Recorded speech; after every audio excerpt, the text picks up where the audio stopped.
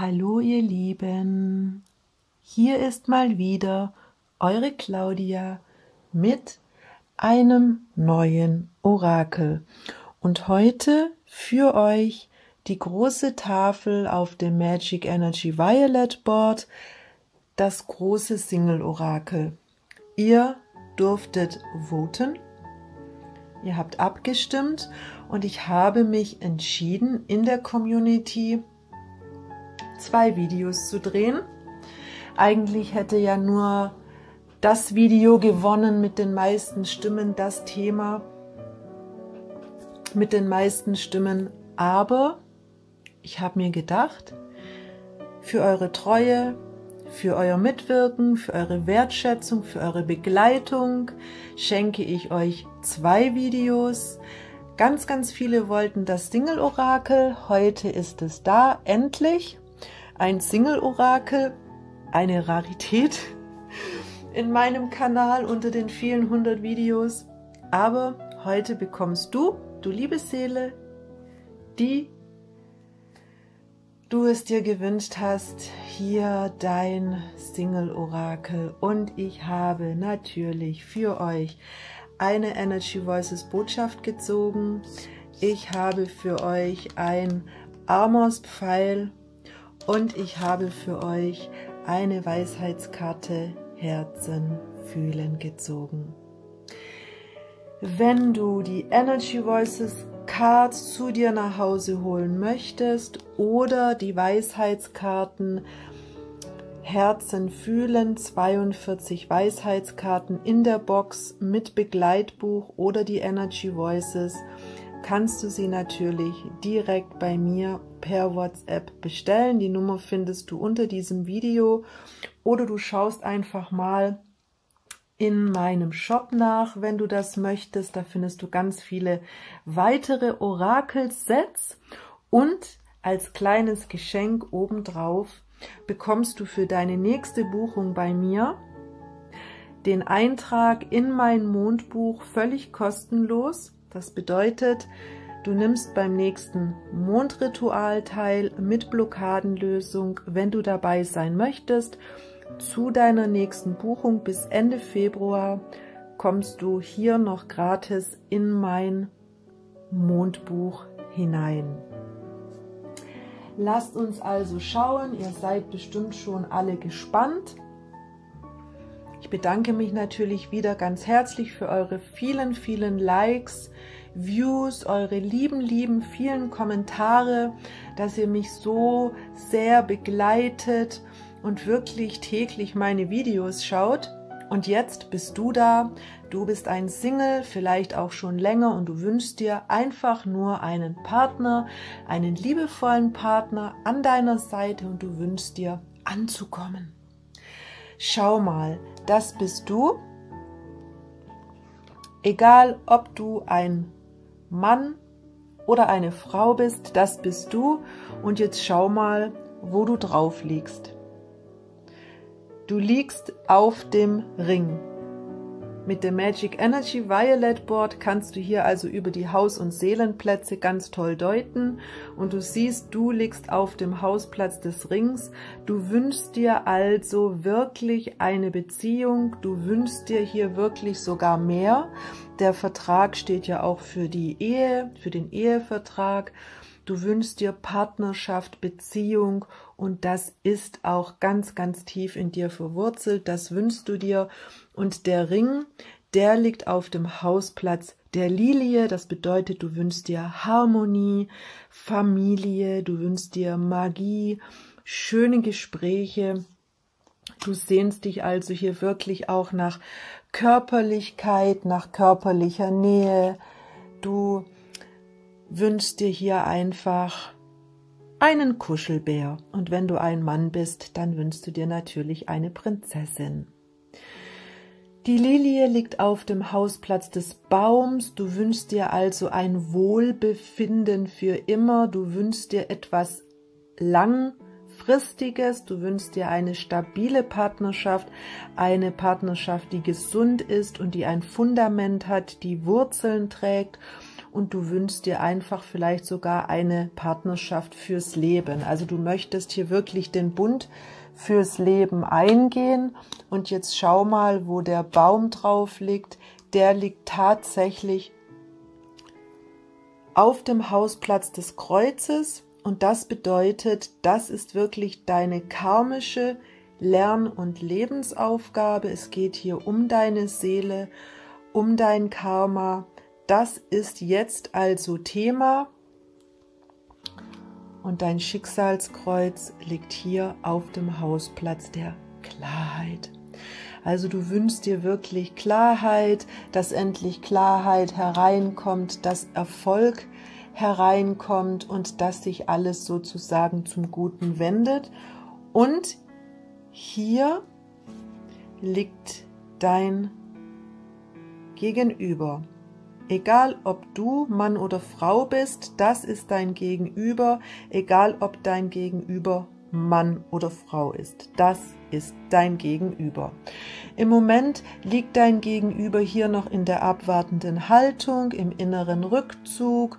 Er hat Angst vor falschen Aktionen, er hat Angst, das Falsche zu sagen, also das ist ein ganz sensibler Mensch. Du siehst, er ist auch sehr spirituell und wenn ich er sage, dann meine ich dein Gegenüber. Also das hat nichts mit dem Geschlecht zu, mit dem Geschlecht zu tun. Dein Gegenüber ist also sehr spirituell, sehr feinfühlig, sehr sensibel, könnte sogar hier auch sportlich sein, ein aktiver Mensch, der sich auch gerne bewegt. Es könnte auch tatsächlich ein Mensch sein, der reitet oder mit Pferden etwas zu tun hat. Du siehst auch, dein Gegenüber wünscht sich hier eine Beziehung und fühlt sich völlig blockiert und leidet unter diesem Single-Dasein. Der Ring mit dem Sarg. Das ist ja die Single-Karten-Kombination. Und wenn du sagst, ich, ich deute mir auch gerne selbst die Karten zu Hause und ich, du brauchst noch ein Begleit, Heft, ein Begleitbuch, dann kannst du dir natürlich mein Kartenlege-Lernebuch zu dir nach Hause holen. Da bekommst du ganz viele Tipps auch nochmal zu den Kartenkombinationen. Wie erkenne ich Personenkarten? Wie erkenne ich Zeitkarten? Wie arbeite ich themenzentriert? Denn hier siehst du auch, um den Ring, um die Beziehung liegt im Moment völlige Stagnation und Blockade und das Schweigen und die Sehnsucht und hier auch noch im Frühjahr, Februar, März, April liegt es also noch in der Stagnation. Und dieses Buch bekommst du zusammen mit einem kleinen Bonusheft. Und dieses Buch kannst du dann wirklich zum Deuten verwenden. Es ist für Anfänger und Fortgeschrittene geeignet. Und jetzt werden wir die Energy Voices Botschaft aufdecken.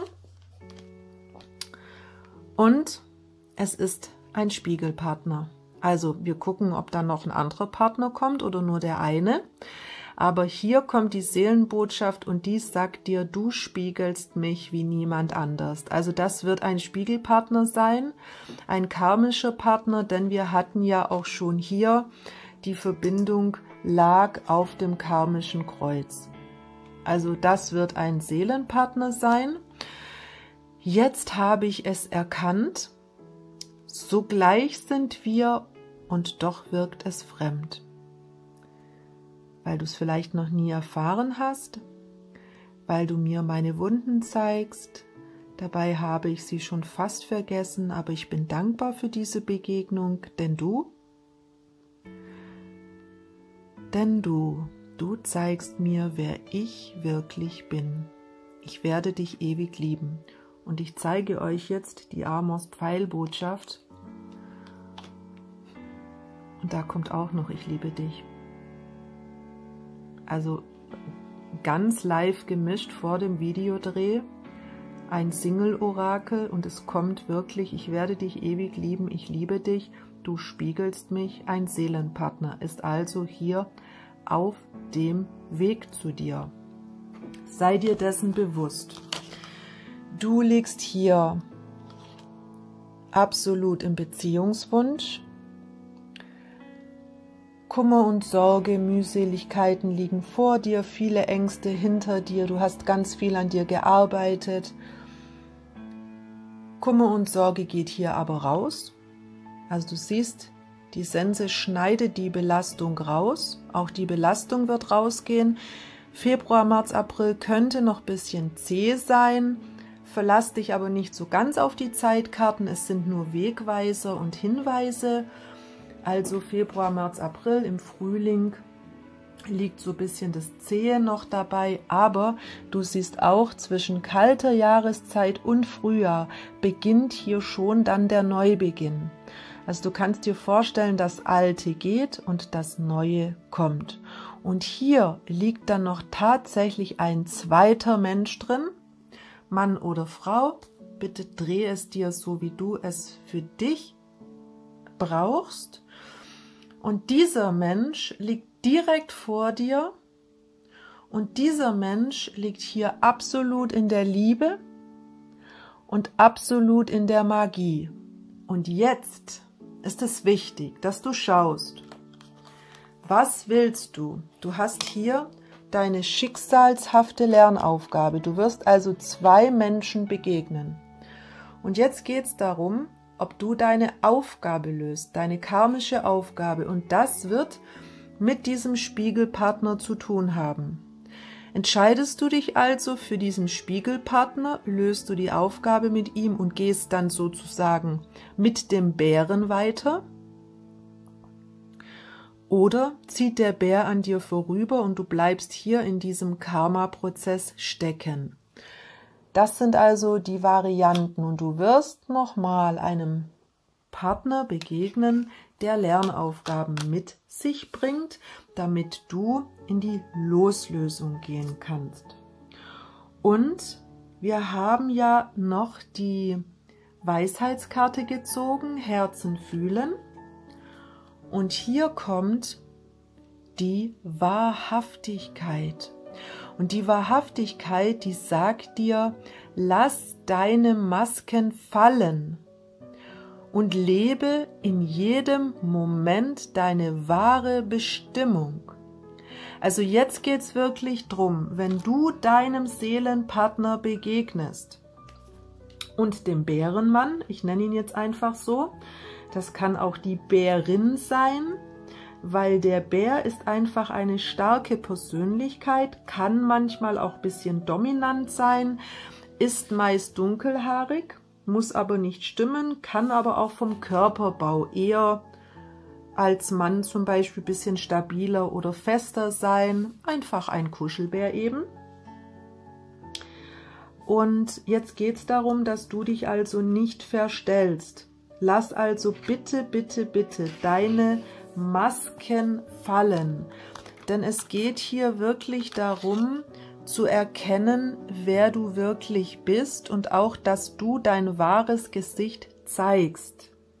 Lass also deine Masken fallen und lebe in jedem Moment deine wahre Bestimmung, denn nur wenn du die Wahrheit aussprichst, kann Liebe wachsen. Sei also ehrlich zu dir und zu deinem Gegenüber.